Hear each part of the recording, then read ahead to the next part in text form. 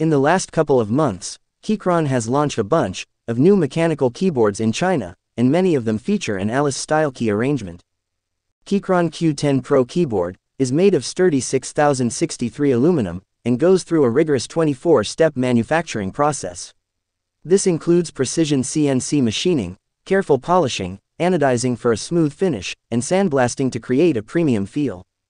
The Q10 Pro has a 75% Alice layout, which divides the keyboard into left and right sections. This layout helps to keep your wrists and arms in a natural position, which can help to prevent wrist strain during long typing sessions. This keyboard stands out because it offers versatile connectivity options. It can connect to your devices wirelessly or with a cable, giving you flexibility in how you use it. The Keychron Q10 Pro is also compatible with QMK and VIA open source modifications, and it can be used with both Mac and Windows operating systems. The Q10 Pro features a gasket structure and a PC positioning plate, which enhances durability and provides a stable typing experience. It also comes with high-quality PBT two-color injection keycaps and the proprietary K Pro switches, which offer a tactile and responsive typing experience.